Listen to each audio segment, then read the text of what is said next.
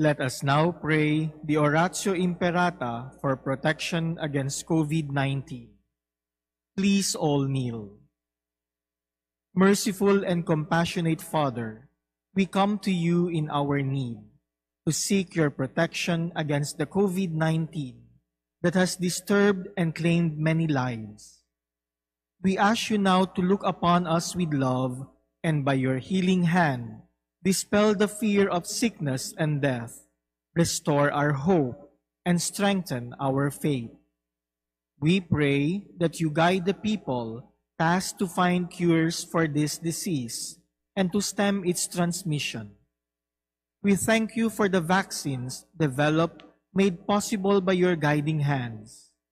Bless our efforts to use these vaccines to end the pandemic in our country. We pray for our health workers that they may minister to the sick with competence and compassion. Grant them health in mind and body, strength in their commitment, protection from the disease. We pray for those afflicted. May they be restored to health. Protect those who care for them. Grant eternal rest to those who have died.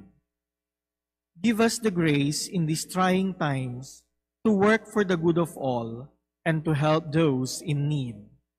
May our concern and compassion for each other see us through this crisis and lead us to conversion and holiness. Grant all this through our Lord Jesus Christ, your Son, who lives and reigns with you in the unity of the Holy Spirit, God forever and ever. Amen. Amen. We fly to your protection, O Holy Mother of God. Do not despise our petition in our necessities, but deliver us always from all dangers. O glorious and blessed Virgin. Amen. Amen. Our Lady, health of the sick. Pray for us. Saint Joseph, Pray for us. Saint Raphael the Archangel, Pray for us. San Roque, Pray for us. San Lorenzo Ruiz, Pray for us. San Pedro Calungsod. Pray for us. In the name of the Father, and of the Son, and of the Holy Spirit, Amen. the Lord be with you. And with your spirit. My dear brothers and sisters, let us be sorry for our sins. Let us beg God's forgiveness. Let us entrust ourselves to God's merciful love.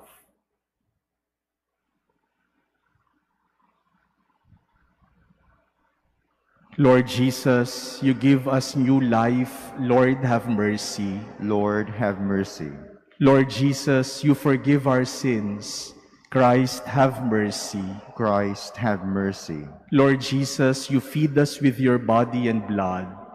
Lord, have mercy. Lord, have mercy. May Almighty God have mercy on us, forgive us our sins, and bring us to everlasting life. Amen. Let us pray. O God, by whom we are redeemed and receive adoption, look graciously upon your beloved sons and daughters, that those who believe in Christ may receive true freedom and an everlasting inheritance. Through our Lord Jesus Christ, your Son, who lives and reigns with you in the unity of the Holy Spirit, God forever and ever. Amen. Please be seated. A reading from the first letter of St. Paul to the Corinthians.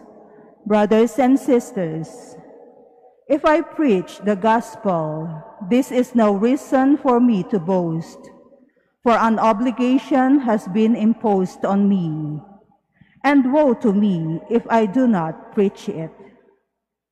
If I do so willingly, I have a recompense.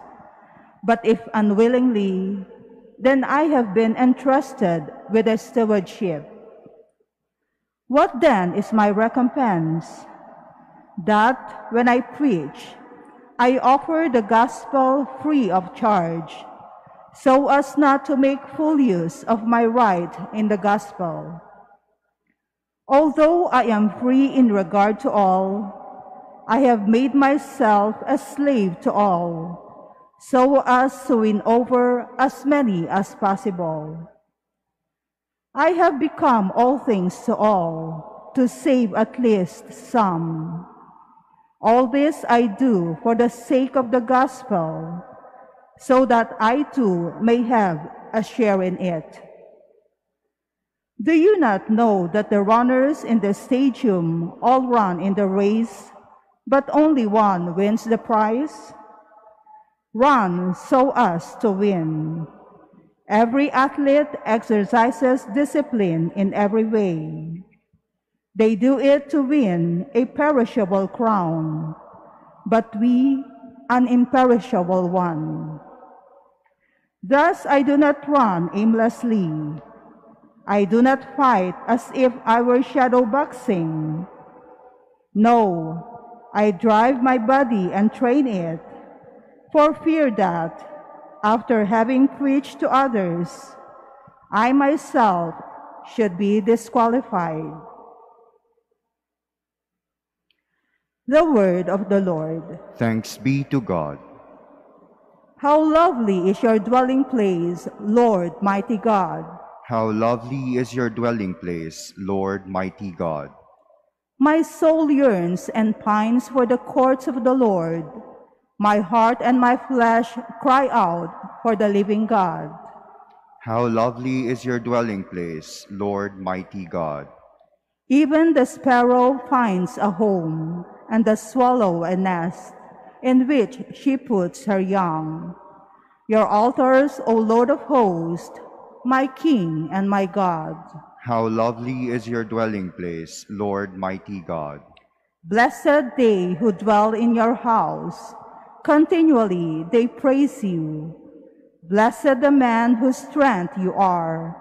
Their hearts are set upon the pilgrimage. How lovely is your dwelling place, Lord mighty God. For a sun and a shield is the Lord God. Grace and glory he bestows. The Lord withholds no good thing from those who walk in sincerity. How lovely is your dwelling place, Lord mighty God. Please stand.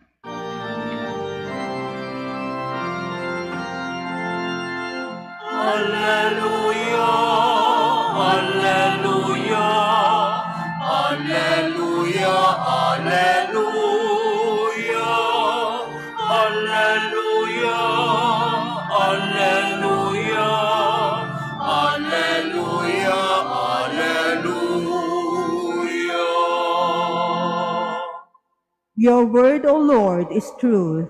Consecrate us in the truth.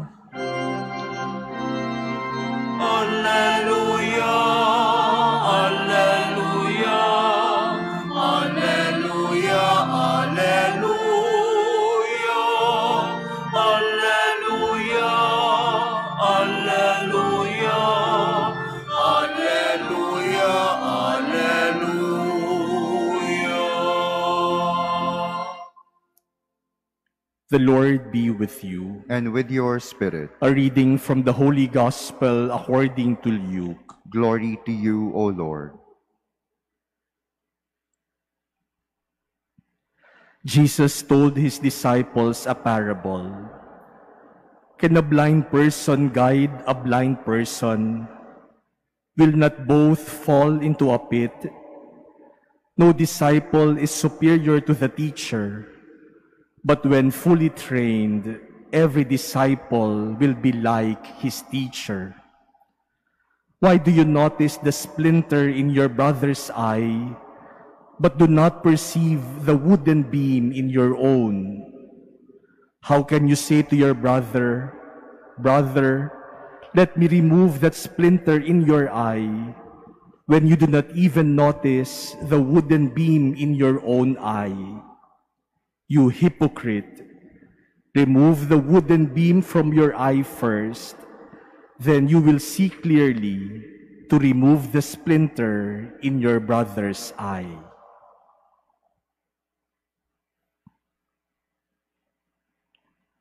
The Gospel of the Lord. Praise to you, Lord Jesus Christ. Please be seated. My dear brothers and sisters, the words of Jesus in our Gospel today invites us to honestly ask ourselves a question. And the question is, do I still see myself as I really am?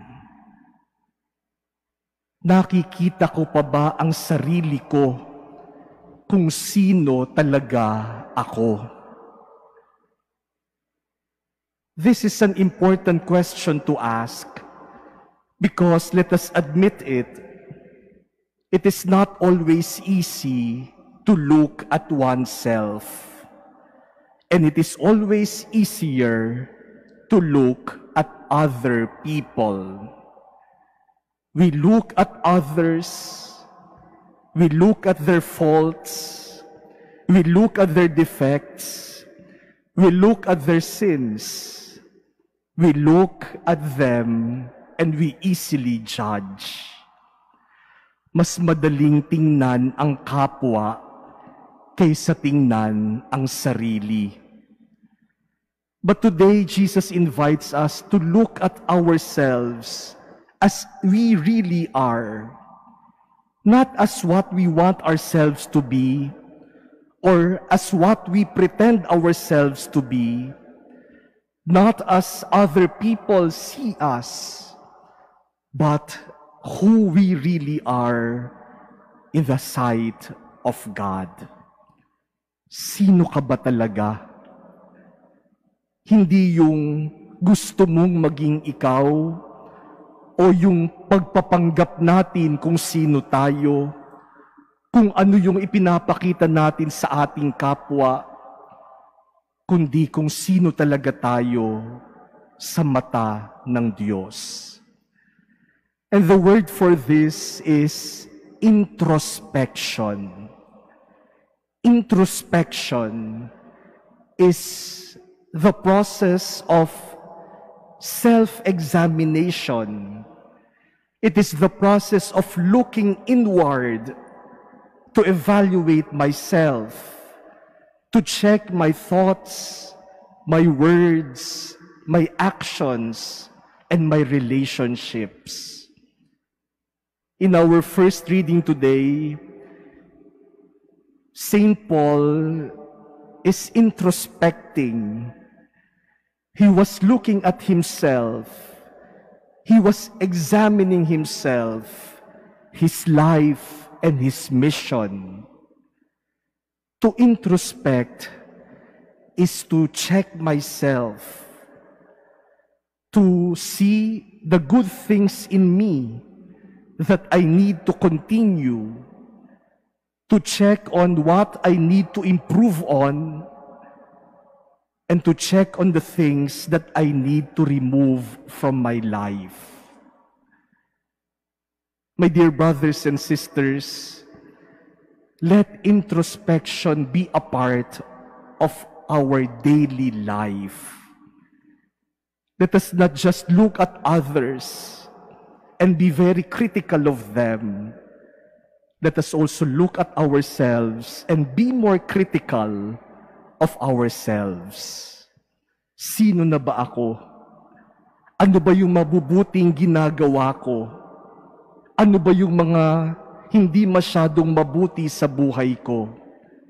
Ano ba yung mga dapat ko nang alisin na nakakahadlang sa aking pagsunod kay Jesus? Every day, let us examine ourselves. Let us introspect because that will make us better persons. That will make us better Christians, better followers of Jesus.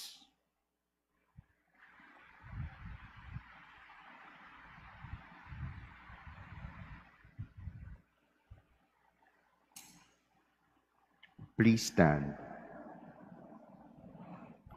By his words and works, Jesus taught us the forgiving mercy of God.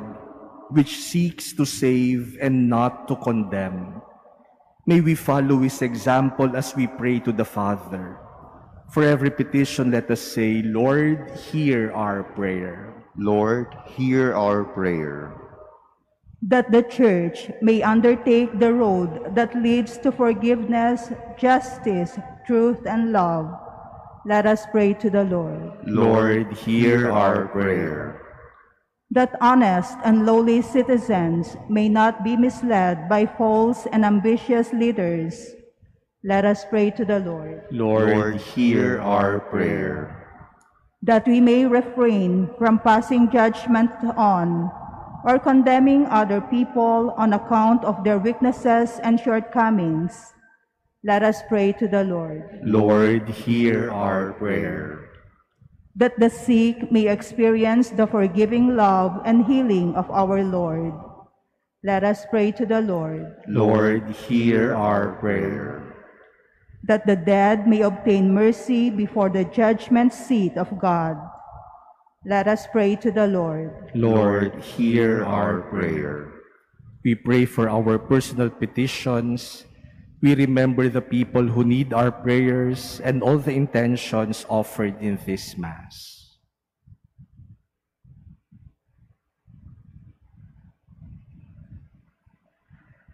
Lord, open the eyes of all people who have lost their way in life.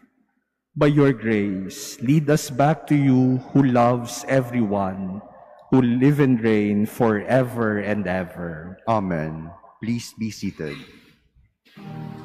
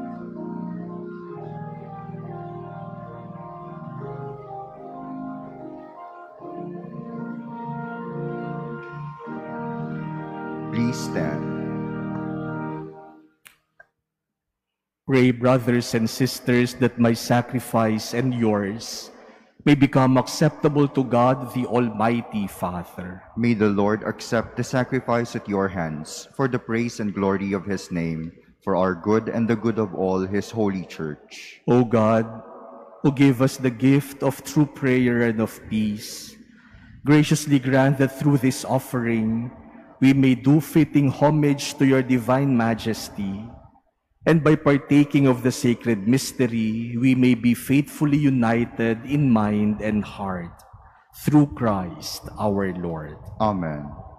The Lord be with you. And with your spirit, Lift up your hearts. we lift them up to the Lord. Let us give thanks to the Lord our God. It is right and just. It is truly right and just, our duty and our salvation, always and everywhere to give you thanks. Lord, Holy Father, Almighty and eternal God, through Christ our Lord. In Him you have been pleased to renew all things, giving us all a share in His fullness. For though He was in the form of God, He emptied Himself, and by the blood of His cross brought peace to all creation. Therefore He has been exalted above all things, and to all who obey Him has become the source of eternal salvation. And so with angels and archangels, with thrones and dominions, and with all the hosts and powers of heaven, we sing the hymn of your glory, as without end we acclaim. Holy, holy, holy Lord God of hosts, heaven and earth are full of your glory. Hosanna in the highest. Blessed is he who comes in the name of the Lord. Hosanna in the highest. Please kneel. You are indeed holy, O Lord, the fount of all holiness. Make holy, therefore, these gifts, we pray, by sending down your Spirit upon them like the dewfall, so that they may become for us the body and blood of our Lord Jesus Christ. At the time he was betrayed and entered willingly into his passion, he took bread, and giving thanks, broke it, and gave it to his disciples, saying, Take this, all of you, and eat of it, for this is my body, which will be given up for you.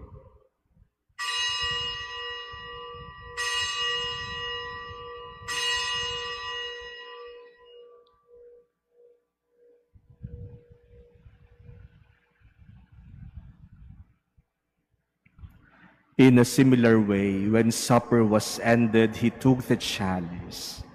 And once more giving thanks, he gave it to his disciples, saying, Take this, all of you, and drink from it. For this is the chalice of my blood, the blood of the new and eternal covenant, which will be poured out for you and for many for the forgiveness of sins. Do this in memory of me.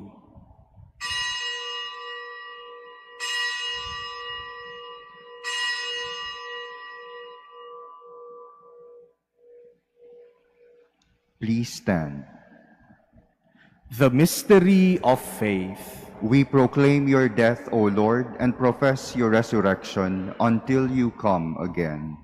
Therefore, as we celebrate the memorial of his death and resurrection, we offer you, Lord, the bread of life and the chalice of salvation, giving thanks that you have held us worthy to be in your presence and minister to you. Humbly we pray that partaking of the body and blood of Christ, we may be gathered into one by the Holy Spirit. Remember, Lord, your church spread throughout the world and bring her to the fullness of charity, together with Francis, our Pope, and Jose, our Bishop, and all the clergy. Remember also our brothers and sisters who have fallen asleep in the hope of the resurrection, and all who have died in your mercy. Welcome them into the light of your face. Have mercy on us all, we pray, that with the Blessed Virgin Mary, Mother of God, with Blessed Joseph, her spouse, with the blessed apostles and all the saints who have pleased you throughout the ages, we may merit to be co-heirs to eternal life and may praise and glorify you through your Son, Jesus Christ. Through him, and with him, and in him, O God, Almighty Father, in the unity of the Holy Spirit, all glory and honor is yours forever and ever. Amen. Let us pray to the Father as Jesus taught us. Our, Our Father, who who art in heaven, hallowed be thy name. Thy kingdom come, thy will be done on earth as it is in heaven. Give us this day our daily bread, and forgive us our trespasses, as we forgive those who trespass against us. And lead us not into temptation, but deliver us from evil.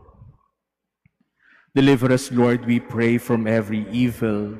Graciously grant peace in our days, that by the help of your mercy we may be always free from sin and safe from all distress, as we await the blessed hope and the coming of our Savior, Jesus Christ. For the kingdom, the power, and the glory are yours, now and forever. Lord Jesus Christ, who said to your apostles, Peace I leave you, my peace I give you. Look not on our sins, but on the faith of your church, and graciously grant her peace and unity in accordance with your will, who live and reign forever and ever. Amen. The peace of the Lord be with you always. And with your spirit, let us offer each other the sign of peace.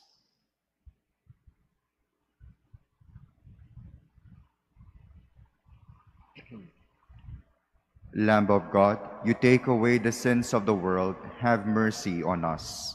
Lamb of God, you take away the sins of the world, have mercy on us. Lamb of God, you take away the sins of the world, grant us peace. Please kneel.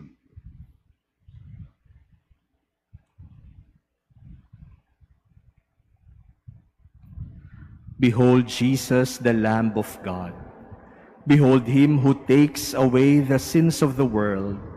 Blessed are those called to the supper of the Lamb. Lord, I am not worthy that you should enter under my roof, but only say the word, and my soul shall be healed. The body of Christ. Amen. Act of Spiritual Communion. My Jesus, I believe that you are present in the most holy sacrament. I love you above all things, and I desire to receive you into my soul. Since I cannot at this moment receive you sacramentally, come at least spiritually into my heart. I embrace you as if you were already there and unite myself wholly to you. Never permit me to be separated from you. Amen.